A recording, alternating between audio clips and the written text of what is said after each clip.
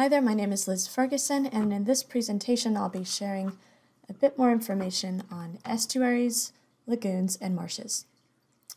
So wetlands can be defined as areas where water covers the soil or is present either at or near the surface of the soil all year for varying times of that year. And there's two different categories as described by the EPA as, and five different types or categories of wetland described by NOAA. First, we have the coastal or the tidal uh, categories of wetlands, which are going to include marine or ocean wetlands and estuarine or estuary wetlands. And then secondarily, we have three different inland and or non-tidal forms of wetlands, which includes a riverine or a river system, a lacustrine or a lake wetland, and a palustrine or a marsh wetland. So coastal and tidal wetlands, let's focus on those first. Marine or ocean systems include open oceans regions that overlay the continental shelf and are associated with a high energy coastline. The limit of this marine wetland system is going to be the outer edge of the continental shelf to the intertidal zone or the edge of the estuary. The estuary system uh, kind of takes over from there, and it's the deep water tidal habitat and adjacent tidal wetlands that is semi enclosed by land and has access to salt water or marine water and fresh water. These tend to be lower energy systems, and the limit of these estuarine systems are the upstream and landward um, areas where the ocean salts measure less than 0.5 parts per thousands. The seaward element is where the shrubs and the trees are not included. So just to give you a couple graphics on these different wetland regions. Here we have the continental slope located at the right edge of this figure.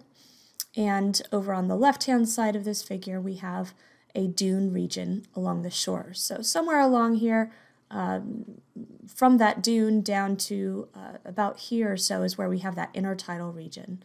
And from there we have the subtidal region, another little intertidal region, and another subtidal region. So you can, anything, anything wherein there is going to be um, typically no water covering uh, part of the system, such as this little, oh, sorry, such as this little oh yeah, no, the intertidal section here. So even if there's not water continually covering this section because of the fact that it's found within this space between the continental slope and the dune area, we include that in this marine system and define it as a form of a wetland.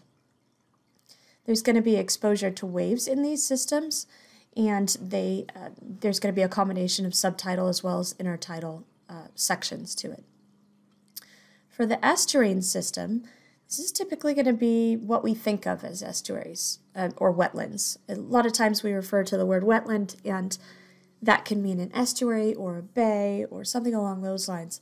But estuaries tend to have more of a protect, protected region that is submerged at times during the uh, during the day.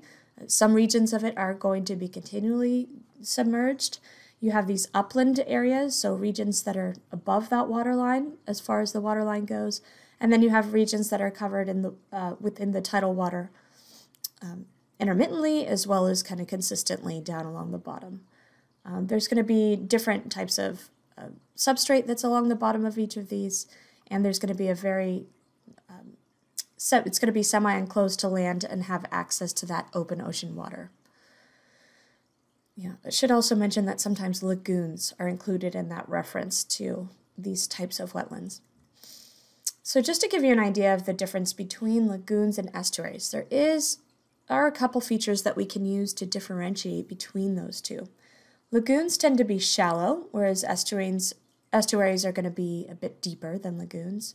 Um, there's typically no large rivers flowing into a lagoon, but there always is for an estuary. You're always going to have an inflow of fresh water from some form of a river into an estuary. The flow dynamics are going to be sluggish and slow then for the lagoon and obviously faster. Water flow is going to be a bit faster for that estuary due to the access to the river, due to the access to the river. Um, and then we have something called a flushing time, which is how long it takes for fresh a fresh batch of water to kind of be flushed into the system from either the ocean or the river. In the lagoon, it's going to be take a long time as it's a little bit more restricted, and the estuaries are going to wild, widely vary.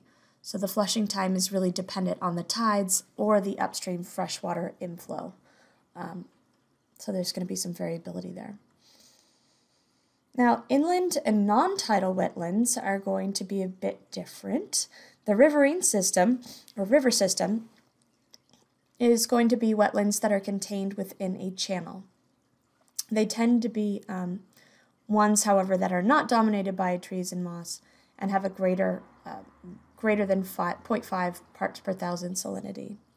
Lacustrine systems or lakes are going to be permanently flooded lakes and reservoirs. Um, they can also include intermittently flooded lakes, though, and something called tidal lakes, which are greater than 0.5 parts per thousand salinity. And then with the palustrine systems, it's going to be dominated by trees, shrubs, and uh, typically will have a very low water level. Uh, again, same salinity level. And we refer to these oftentimes as marshes or swamps, bogs, or fens. They tend to be small and shallow, or consist of small, shallow water bodies, such as ponds. And just to take a look at the graphics for these three different systems, this is an example of the um, the riverine system. Here too, you, you should note that there are some specific types of plant life that are typically going to exist on either side of this riverine system and the other wetland regions. And you're going to typically have varying levels of uh, water levels for each of these uh, for the for the riverine system, dependent on what's contributing to that river system water. Uh, the water flow is typically always going to be flowing. The palustrine and other wetlands may occur adjacent to these riverine systems as well. For the lacustrine system, as you can imagine with the lake, um, we can have uh, different levels of, of the water level for different for lakes uh, that can fluctuate either tempor- seasonally or you know temporarily get flooded things along those lines. Uh, the lacustrine region is tended tends to be um, surrounded by on either side this palustrine section as well, or, or type of wetland as well. It's situated in a depression or a river channel in order to kind of retain more of that water. And the trees, shrubs, and moss are going to make up greater than 30% coverage. And with these lacustrine systems, we're typically referring to an area that has a that's a little bit larger in size. It's generally going to be a minimum of 20 acres in size or more.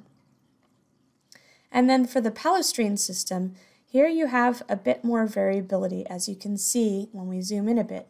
There's going to be much lower levels of water, but that can fluctuate as well. You have it broken into um, sections such as the aquatic bed, the emerging wetland, and then the persistent wetland. So another element to note is that you're going to have some of these uh, moss and other structures that are found within these marshy regions. So let's take a closer look at estuaries. Estuaries are partially enclosed bodies of water that are characterized by a mix of salt and freshwater, something we refer to as brackish water. And in San Diego, we have this incredibly large Tijuana estuary. I think it's the largest estuary in our county. And on the bottom here, the San Diego River estuary. So there's variability in terms of the how those, uh, the layout and whatnot of those different estuaries.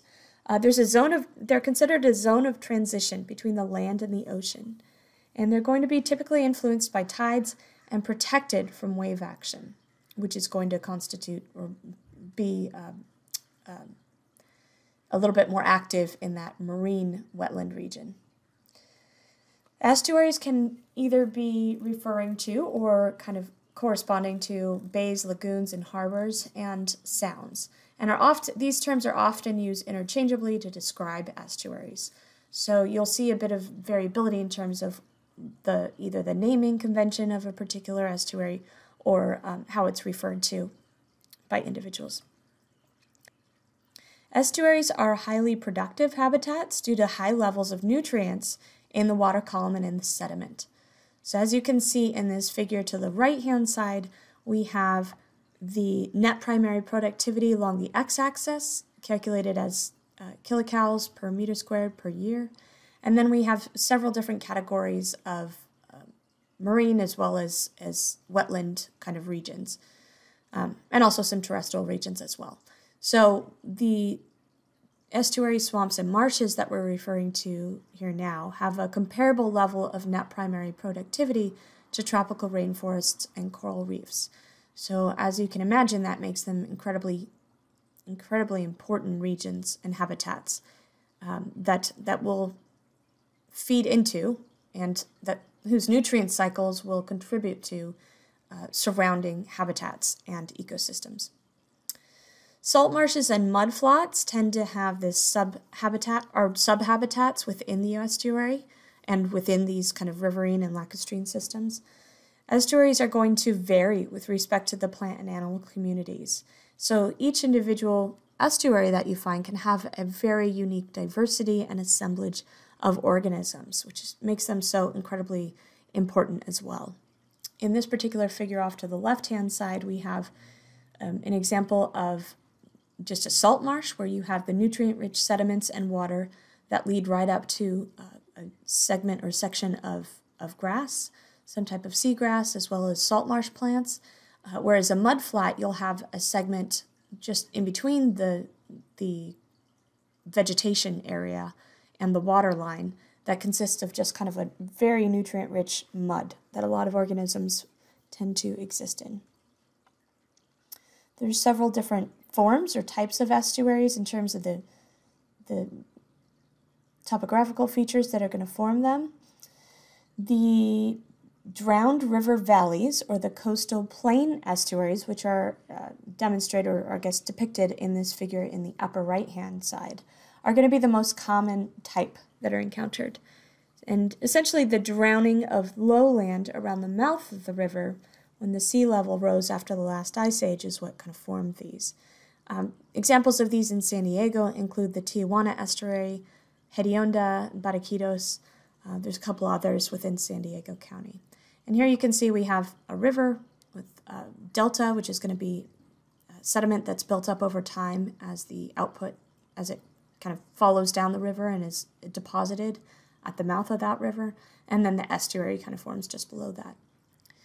Tectonic estuaries can also form, as you can see on the right-hand side here, which they're going to form as a result of land sinking and the crust moving.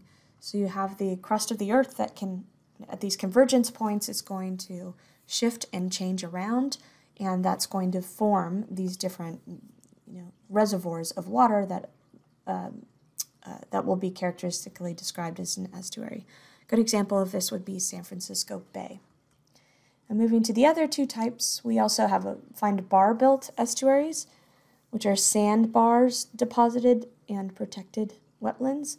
Um, so you've got a sandbar that uh, results from deposition of some sediment and the built-up of that sediment over time. And as that increases in size, it will uh, cut off access to the, the salt water there or the ocean water there. And, well, there'll be some it'll just act as a barrier. It won't be completely excluded because otherwise it wouldn't be an estuary. Um, and it'll just kind of form this little reservoir. Good examples of this are the Gulf Coast of Texas, North Carolina, and the, in the Netherlands. And then we have fjords, which are going to be deep channels cut in the coastal zone as a result of retreating glaciers. These tend to be really deep and narrow, and we find examples of these in Alaska and Norway.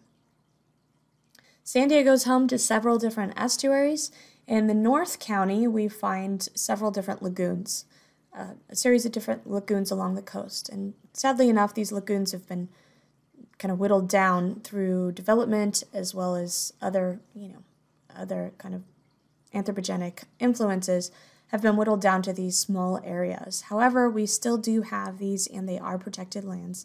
In the southern part of San Diego County, we have the Kendall Frost Mission Bay Marsh Reserve, so you probably visited that at Mission Bay and had the chance to to um, check out some of those marshes up close.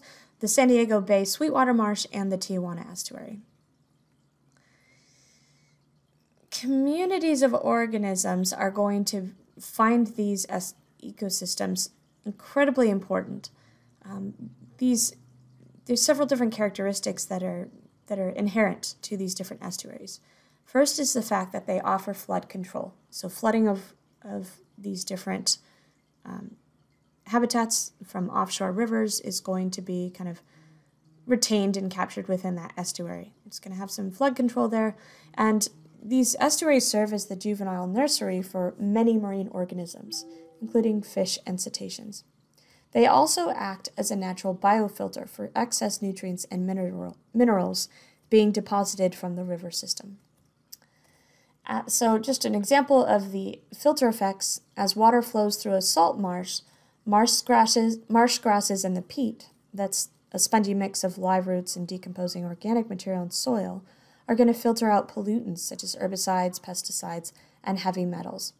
Um, this also will deal with excess sediments and nutrients, um, and this is just a description of what, how that filter, filtering works uh, within that marshland or within that wetland.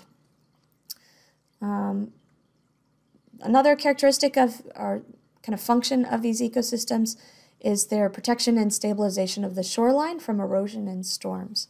Um, they're also responsible for supporting migratory bird populations and a wide for and a wide diversity of those birds as well. We find that there's different niches within the estuary. So, for example, um, some organisms are going to be air breathing and need to feed on def- detritus, algae, and fungi that grow on the salt marsh plants, such as this coffee bean snail on the left hand side um, and the marsh periwinkles on the right hand side. So this is just one kind of section of the marshland that these organisms tend to inhabit. Um, whereas the mudflat areas are going to be inhabited by meiofauna, so interstitial organisms or animals such as worms and ciliates and copepods that are going to be feed along the detritus and other materials that are found within those different sediments. Um, and then within a mangrove forest, we find something slightly different. So within the mangrove forest, we have animals such as sponges that provide nitrogen compounds, protection from, oh, sorry, and protect the roots from isopods. There's polychaetes as well as mud shrimp and clams in the muddy bottom, and a rich nursery of many different species. Within the open water regions of an estuary, oftentimes we find catadromous fish, fishes, which are going to be organ fish that migrate from freshwater to spawn in the sea. So example is the longfin eel here, as well as the European eel, but also a good example would be um, salmon. Um, within the estuaries, you can have either a semi-enclosed estuary, where there's going to be access to um, the seawater, but there will also be regions that protect more from that wave action and kind of make the entrances to that seawater um, kind of smaller. Um, and in those different different estuaries, there's an increased abundance of, of fish species or organisms such as blue crabs, snappers, and gulf flounders. Um, in the open estuaries where there isn't that barrier or intermittent barrier occurring due to sandbars or things like that, you find a greater abundance of other fishes, fish and species, such as bay scallops and black sea bass. So the assemblages and diversity of organisms are going to vary depending on the opening and access to that seawater as well. Estuary birds have a quite large diversity as well. And the coastal wetland, we have migratory as well as resident species. And uh, just to give you an idea of the diversity in these different regions in San Diego, um, in San Elijo Lagoon, there's approximately 300 species that are that either migrate to these lagoons or are residents. In the Kendall Frost Marsh, there's 144 different species. And then Tijuana Estuary, which I mentioned is the largest estuary in San Diego, has approximately 370 species of bird that rely on it. These include species such as the juvenile least tern and the snowy egret. Additionally, we find more predatory species such as the juvenile, or sorry, the larger prey predators, such as the juvenile, juvenile Cooper's hawk and the clapper rail. Plants are also uh, an interesting and diverse assemblage within these regions. There are several different common plants found in coastal wetlands. Um, their characteristics include the fact that they are herbaceous, so there's no woody stems above the ground to make them a little bit lighter, so they don't have to have as an extensive or solid foundation. Uh, they're adapted to aquatic saline habitats, and oftentimes they're going to consist of succulents and grasses. So off to the left-hand side, pickleweed's a great example you find quite commonly in San Diego. Um, by not having that woody stem, they're able to deal a lot better with these muddy or less solid uh, soil kind of characteristics. It's an example here of California bulrush, and another one commonly found uh, plant is saltgrass. Loss of wetlands is a huge issue that we've faced within our within our coastal environments, within our coastal communities. And as I mentioned, there's a these estuaries act as nurseries for a wide diversity of species. They also act as a filter and a buffer for flooding as well as nutrient overloading and things along those lines. So the destruction of these wetlands and the loss of these habitats can be quite critical and um, and bad for the associated and adjacent marine ecosystems. So since the 1700s, there's been more than half of all wetlands in the lower 48 states lost. Uh, Florida and, and Louisiana had the greatest area of wetlands and have lost about 50% of those. And this map over on the right hand side indicates states with the highest wetland lost and their percentages. California has lost a little over 90% of its wetlands, and in Southern California, we only have 30 salt marshes remaining. A good example of kind of the historical extent change in these wetlands um, includes the Ballona Lagoon in uh, Los Angeles. Historically, this wetland occurred within the entirety of this region, so this entire space was included in that wetland. Currently, though, our current day extent um, has dropped that 14,000 acres of wetland down to about 600 acres of wetland. And that was in 2017, so we've probably had a reduction since then. San Diego wetland lost is also a um, you know significant, as you can imagine, so part of the California wetland loss. Uh, if you take a look at this map, we see that the historical lagoon. Oh, sorry, I'll zoom in a bit. It, historically, and this is kind of where we see a good example here. The orange is where the lagoon, the extent of the lagoon from historical data. Um, and the kind of shaded green, planty green here, is the current day extent of those lagoons. So as you can see from the San Elijo Lagoon and oh, specifically the San Dieguito Lagoon and the Los Penasquitos Lagoon, we've drastically reduced the amount of actual wetland that's present, um, which, as you can imagine, has big impacts for these marine ecosystems, as well as any the diversity of species within those within these regions. We were a highly diverse region, um, more diverse region, I should say, in terms of species than we are today. A similar thing happens in the northern county, although um, likely due to the uh, slower development in North County, some of that greater extent of these different lagoons or wetlands have been retained. So Tijuana Estuary, San Diego Bay, and Mission Bay is only about 13% of its historical area, just to give you uh, an idea in terms of a number there. So I hope this has given you a good background on estuaries.